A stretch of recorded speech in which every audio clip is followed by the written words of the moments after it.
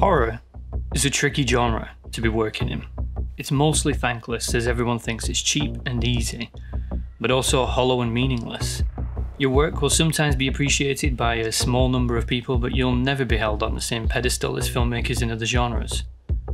God damn it, horror is hard. Most horror movies head down the road of cheap tactics to generate what I'm going to call scares. These are temporary jump moments which utilise jump cuts and sudden noises.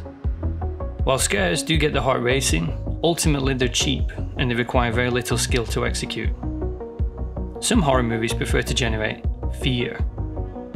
Fear is hard to create because it's sustained, it's built gradually, but at the same time, it's stopped right before you begin to get accustomed to it. This is the area that John Carpenter excels.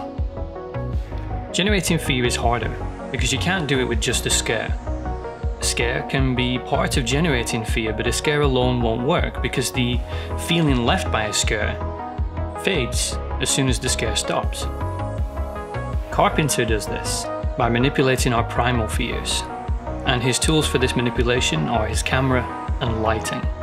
The most universal fears are fear of darkness, fear of isolation, paranoia, and fear of death.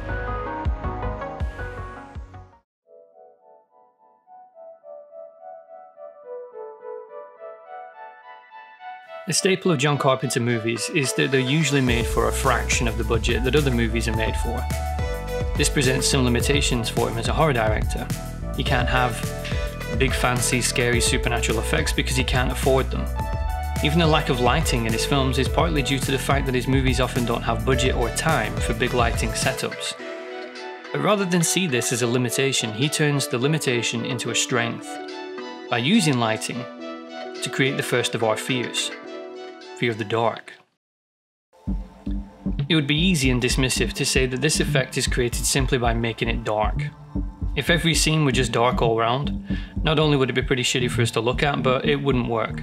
See, human beings are pretty hardy things. We adapt to pretty extreme situations. Psychologically, this is referred to as desensitization. The more you experience something, the less pronounced its effect is. Carpenter is particular about how and when he uses light to intensify our fear of the dark. It's the contrast between light and dark which generates this fear, because at the back of our mind we're always thinking about what is lurking in the shadows, we think that there must be something there. Or why would he choose to include it in the shot? In this shot from the fog, Carpenter intentionally includes a lot of black space in the frame. Our expectation is that there is a reason for it. In that darkness, something hides, or it wouldn't have been included at all. This builds anticipation and manipulates what we expect to see, giving him control of our senses. Throughout the film Halloween, Carpenter uses darkness as a literal barrier between where it's safe and where it isn't. Inside the houses of Haddonfield is well lit. We can see what things may be lurking there and it feels safe. This is amplified by the fact that all the murders, except the very first, happen in the dark.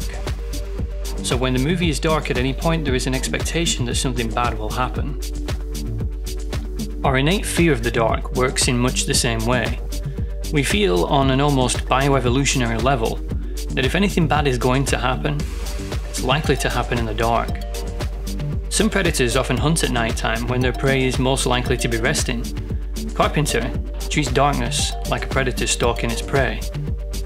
Quite often, when the darkness is creeping up on its victims, the camera work switches to a more subjective viewpoint, placing the audience in the position of the characters, making us feel as though the darkness is stalking us.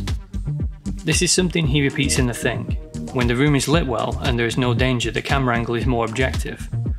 But once the darkness starts to creep in, the camera work becomes more subjective, reflecting what fear of the dark is like. It's different for everyone. It's a fear which is sometimes irrational, yet always feels justified. It's a very personal experience.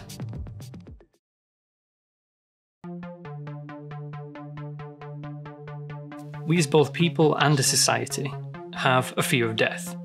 The fact that money, status, health, and celebrity doesn't protect you from death is what makes it scary. It can come for you at any age and use a variety of methods. Pretty much all John Carpenter's horror films manipulate this fear.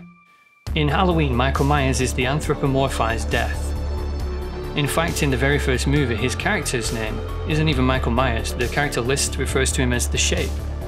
Myers has all the characteristics we normally associate with death unstoppable, unavoidable, unrelenting, cruel, indiscriminate.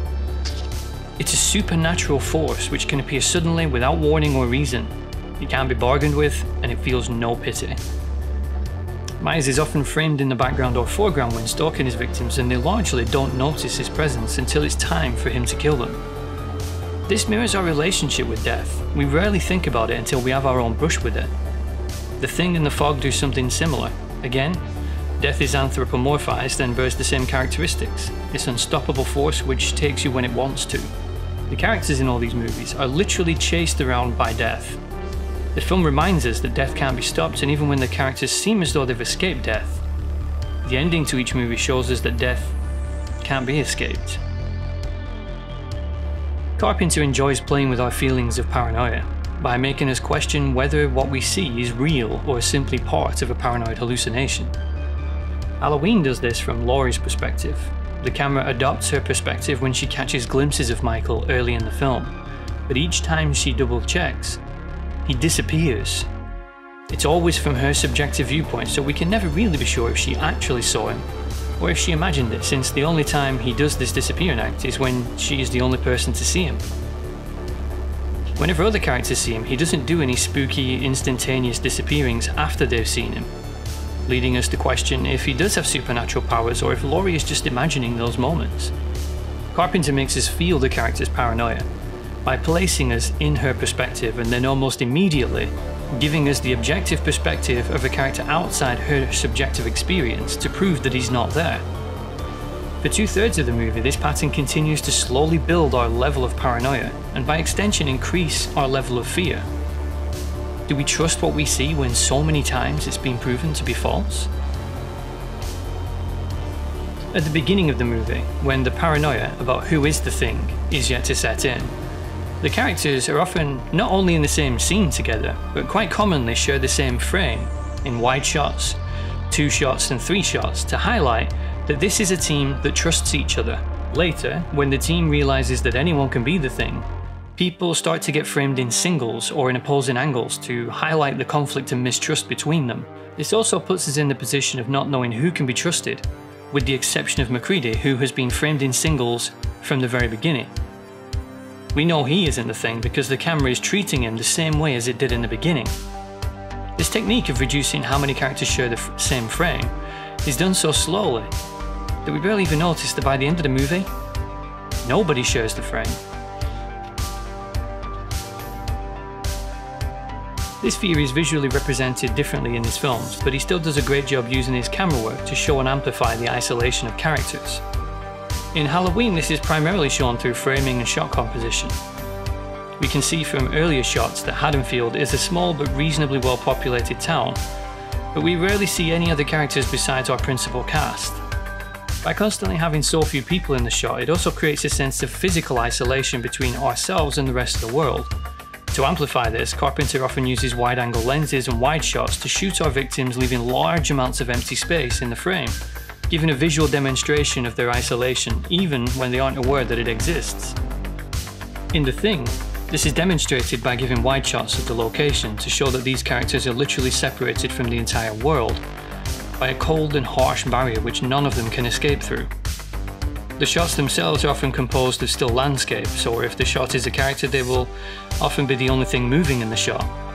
Signs of life are restricted and signs of humanity decrease as the movie progresses and the characters descend into intense paranoia. In the fog, it's the fog which creates the isolation. It begins by enveloping the town and cutting it off from the rest of the country before spreading inside the town and isolating individuals. Each time the effect is the same. Isolation means the characters and by extension the audience are trapped in a state of claustrophobic isolation. There aren't many examples to choose from, but when Carpenter does horror well, he really understands what it, it is that creates that feeling of sustained fear and panic, which many other films don't even bother to attempt. He turned low budget limitations into strengths. As an indie filmmaker, Carpenter is an inspiration. As a horror filmmaker, he can be genuinely fear inducing.